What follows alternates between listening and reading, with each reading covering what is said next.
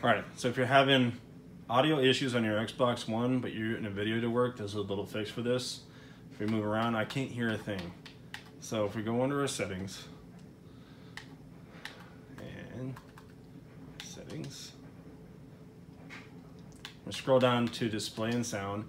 Most people tell you to go to audio output and go to HDMI, but it's grayed out. I can't get to it. It's only stereo compressed or anything else.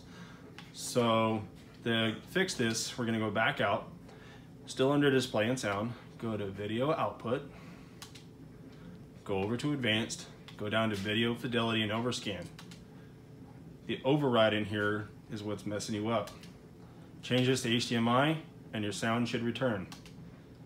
You'll have to fix your display settings again. So now we're on HDMI, hit back, and now we can hear things reset your resolution, and everything should be back to normal.